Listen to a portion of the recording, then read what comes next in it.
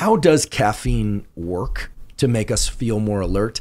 And does the timing in which we ingest caffeine play an important role in whether or not it works for us or against us? So maybe we just start with how does caffeine work? Why is it that when I drink mate or coffee, which are my preferred sources of caffeine, do I feel a mental and physical lift? Yeah. So I'm going to suggest, counter to what most people would think, drink coffee. Or is, mate. Is mate okay also? Yeah, yeah, yeah. Or whatever form you enjoy. Well, yeah. we'll, we'll come on to sort of why I suggest that. But when it comes to coffee, uh, I would say the dose and the timing makes the poison. Mm-hmm. So let's start with how caffeine works. Um, caffeine is in a class of drugs that we call the psychoactive stimulants. So it works through a variety of mechanisms. Um, one is a dopamine mechanism. Dopamine we often think of as a reward chemical, or um, but dopamine is also very much an alerting mm-hmm. neurochemical as well. And caffeine has some role, it seems to play in increasing dopamine. But its principal mode of action, we believe, in terms of making me more alert and keeping me awake throughout the day, is on the effects of adenosine. And to explain what adenosine is, from the moment that you and I woke up this morning, this chemical adenosine has been building up in our brain.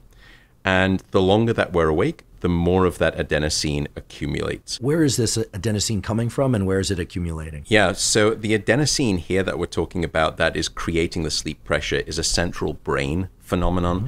And it comes from the neurons themselves combusting energy. Mm-hmm. And as they're combusting energy, one of the offshoots of that is this chemical adenosine. Okay. And so, as we're awake throughout the day and our brain is metabolically very active, it's accumulating and building up this adenosine.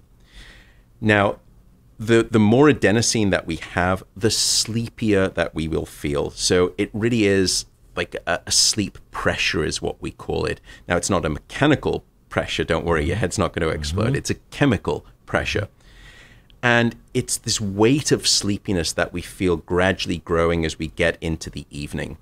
May, may I just interrupt yeah. you again to just ask uh, do we know what the circuit mechanism is for that? I mean, not to um, go too far down the rabbit hole, but for the aficionados no, no. and for myself, uh, we have brain mechanisms like locus coeruleus that re- release things, uh, brain areas, locus coeruleus just being a brain area, of course, that release things that create, that proactively create wakefulness. Yeah. So are those neurons shutting down as a consequence of having too much adenosine, or are there areas of the brain that promote sleepiness that are becoming activated? Because these, you yeah. can imagine both things working in parallel. Yep. One or the other would accomplish the same endpoint. Yeah. yeah. And it's it's both.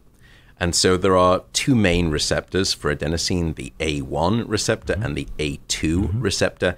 And they have different modes of activating brain cells or inactivating or decreasing the likelihood of firing. And adenosine works in this beautiful, elegant way where it will inhibit and shut down the wake promoting areas of the brain, whilst also increasing and dialing up the volume mm-hmm on sleep activating, sleep Biology promoting. so beautiful. Oh, it's, it's always fantastic. a push pull. So yeah. this is another example where as I am awake longer, adenosine is released in the brain and my wakefulness areas are being actively shut down by that adenosine and my sleepiness brain areas so to speak are being promoted to be more active is that correct that's right and it's a very progressive process. It's not like a step function where, and sometimes that happens occasionally, but it's usually because you've been sort of driving through and, as we'll come on to, have caffeine in the system.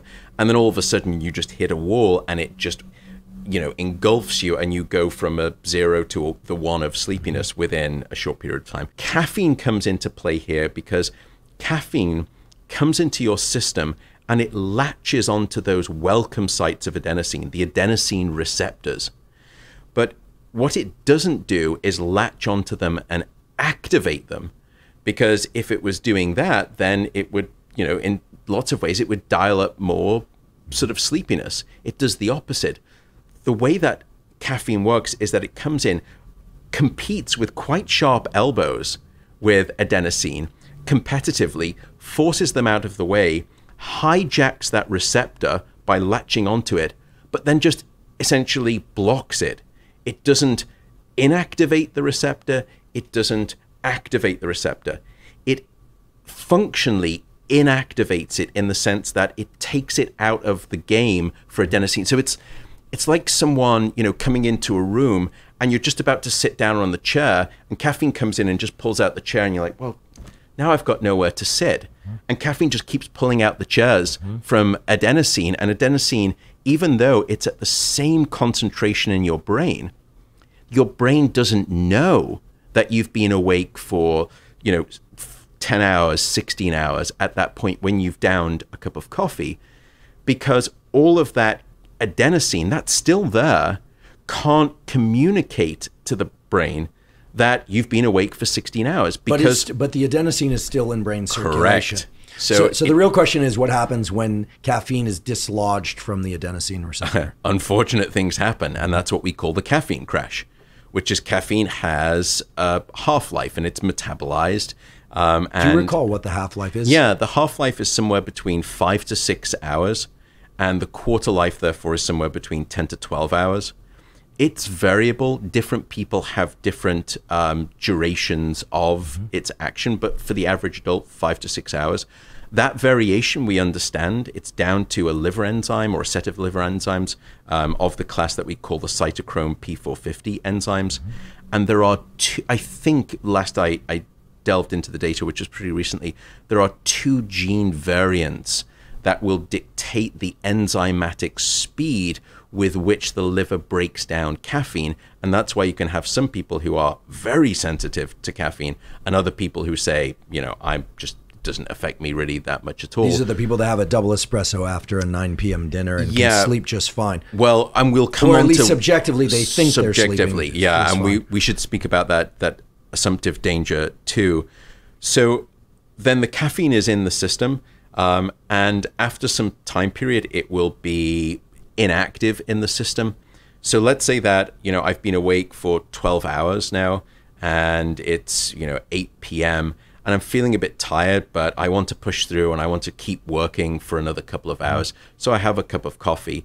All of a sudden, I was feeling tired, but I don't feel like I've been awake for 12 hours anymore because with the caffeine in the system, maybe only half of that adenosine is being communicated through the receptor to my brain 100% of the, the adenosine is still there. Only half of it is allowed to communicate to my brain. So now I think, oh, I haven't been awake for 12 hours. I've just been awake for six hours. Mm-hmm. I feel great.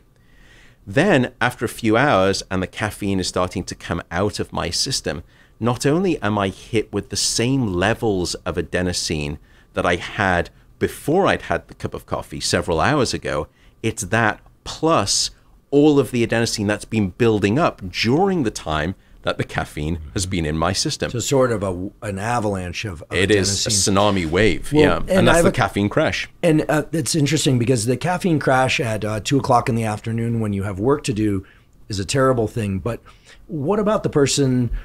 Maybe this person is me in my twenties who says, "I'm going to drink caffeine all day long, and then I want the crash because." At 9 or 10 p.m., if I stop drinking caffeine at, say, 6 p.m., and I crash, then I crash into a, a slumber, a, a, deep night of sleep. Yeah. Is that sleep really as deep as I think it is? Because given the half life of caffeine that you mentioned a few moments ago, I have to imagine that having some of that caffeine circulating in my system might disrupt the depth of sleep or somehow the architecture of sleep in a way that even if I get eight or who knows, even 10 hours of sleep, it might not be as restorative as I would like it to be. Yeah. yeah and that is the danger just sort of that you know those people that you described who say and i a lot of them will um, speak with me too say look i can have two espressos with dinner and i fall asleep fine and i stay asleep. Because usually those are the two phenotypes that we typically see with too much caffeine. Mm-hmm. i just can't fall asleep as easily as i want to or i fall asleep but i just can't stay asleep. And caffeine can do both of those things quite potently. How late in the day do you think is assuming somebody translate this folks if you go to bed earlier or later you have to shift the hours accordingly but given um, somebody who typically go, gets into bed around 10 10 30 and falls asleep around uh, 11 11 30 yeah uh, when would you recommend they halt caffeine intake. And these are not um, strict prescriptives, but I think people do benefit from having some uh, fairly clear guidelines of what Yeah, might yeah. be might work for them. Would you say cut off caffeine by what time of the day? I would usually say take your typical bedtime and count back sort of somewhere between 10 to 8 hours is probably getting a little bit close, but take back sort of 10 hours or 8 hours of time. That's the time when you should really stop you know mm-hmm. using caffeine mm-hmm. is the suggestion mm-hmm. and the reason is because for those people who even just keep drinking up until you know the, into the evening you're right that they can fall asleep fine, maybe they stay asleep, but the depth of their deep sleep is not as deep anymore. And so there are two consequences. The first is that for me, t- and it can be up to by 30%. And for me to drop your deep sleep by 30%, I'd have to age you by between 10 to 12 years. Or you can just do it every night to yourself with a couple of espressos. The second is that you then wake up the next morning and you think, well, I didn't have problems falling asleep and I didn't have problems staying asleep, but I don't feel particularly restored by my sleep. So now I'm reaching for three or four cups of coffee the next morning rather than just two or three cups of coffee. And so goes this dependency cycle that you then need your uppers to wake you up in the morning and then sometimes people will use alcohol in the evening to bring them down because they're overly caffeinated. And alcohol, and we can speak about that too, also has very deleterious impacts on your sleep as well.